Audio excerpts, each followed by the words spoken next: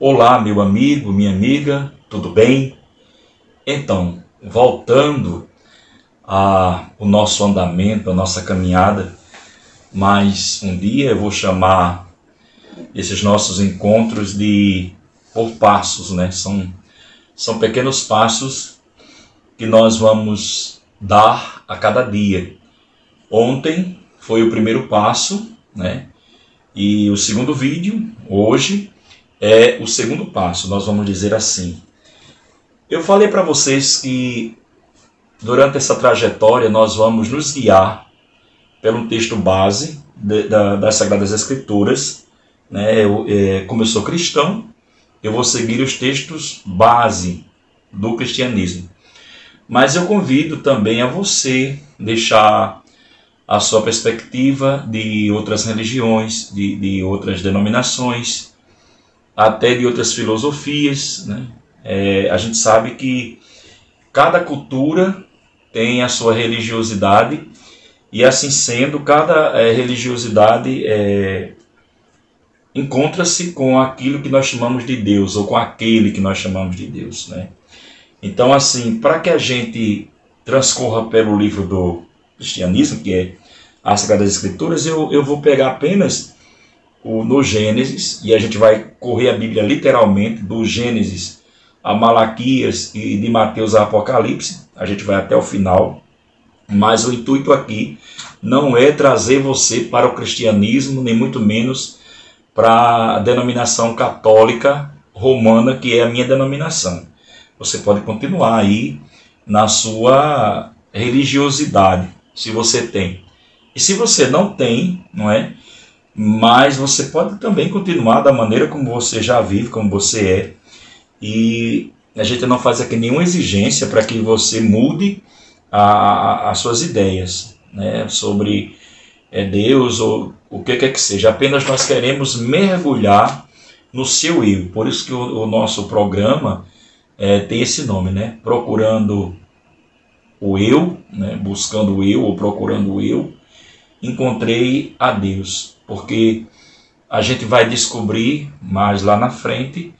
Né? Eu não quero aqui colocar as, a, a, a, as carroças na frente dos bois, mas nós vamos descobrir lá na frente que Deus ele está muito mais perto de nós do que nós possamos imaginar, apesar de muitas vezes nós acreditarmos que ele está tão distante, né, está tão longe e sentirmos até uma vaga né, presença dele, mas ele se faz presente. E você depois vai concordar comigo, mesmo que hoje você não concorde, não tenha essa visão.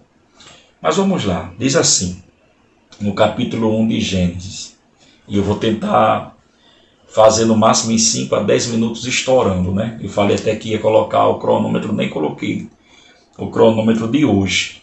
Né? Espero que amanhã a gente coloque esse cronômetro. Eu não vou parar agora porque eu não tenho uh, o hábito de cortar o vídeo, o vídeo segue na íntegra, né, sem nenhum corte, apenas uma edição de, de, de caracteres e eu não gosto de cortar, para que a gente não perca o raciocínio.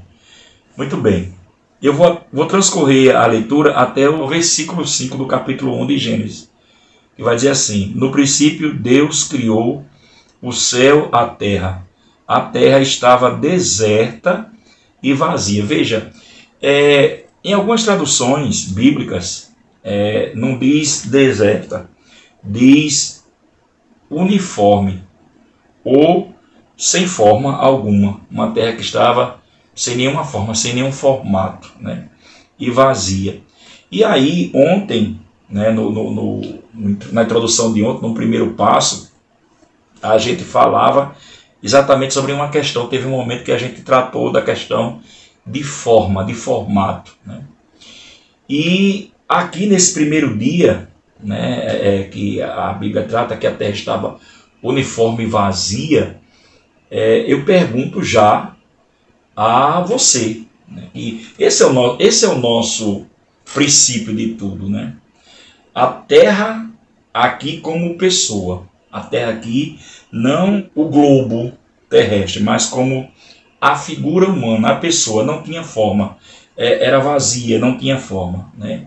E aí diz o seguinte: as trevas cobriu o abismo, e o Espírito de Deus pairava sobre as águas. Só transcorrendo aqui o texto para a gente seguir até o final e aí fazer as considerações. Então Deus disse: Faça-se a luz, e a luz se fez.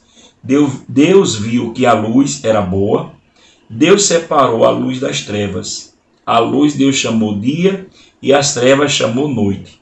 Houve uma tarde e uma manhã, o primeiro dia. Pronto, a gente para aqui. Houve uma tarde, uma manhã, o primeiro dia. O primeiro dia da criação do livro do Gênesis, né? Gênesis quer dizer origem. A gente vê uma terra sem forma, vazia. Contudo, o Espírito de Deus paira sobre a fonte de vida, que é a água. A água ela é fonte de vida, né? Não existe vida sem água, pelo menos a vida humana, a nossa vida não, não existe sem a água. Ela é também sinal para nós de purificação. Né? De, de, de...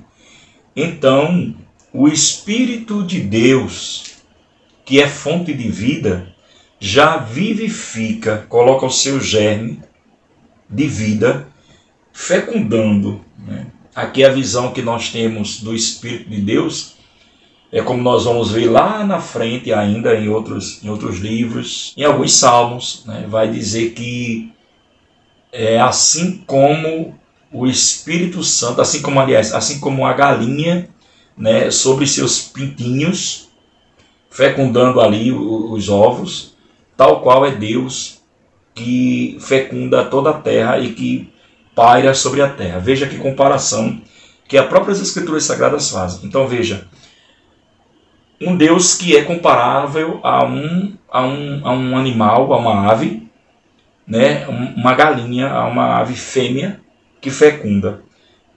Um Deus ocupado em trazer para nós a vida. E aqui também, no, no, na criação, a gente já vê a, a criação nesse primeiro dia da luz. A luz, ela é fundamental que nós tenhamos ela. Sem a luz nós não chegamos a lugar nenhum. Sem a luz nós andamos em trevas, imersos nas trevas. E aí eu pergunto a você hoje, só para que você possa, pegando aí o seu bloquinho de anotações, e se questionar: como é que está a sua terra, o seu coração, a sua vida, a sua alma, a sua pessoa, o seu psique? Como é que está essa terra? Ela está formada, ela já absorveu a forma, o formato, ou você sente que essa terra está sem forma? Você ainda não consegue vislumbrar, enxergar o formato da sua existência, da sua vida, do que Deus sonha para você. Será que você é, que eu sou, aquilo que Deus sonhou para mim? aquilo que Deus quer para mim, aquilo que Deus projetou, eu realmente vivo nesse projeto divino? Você vive nesse projeto divino? Ou você ainda está sem forma? Ou você ainda está vazio?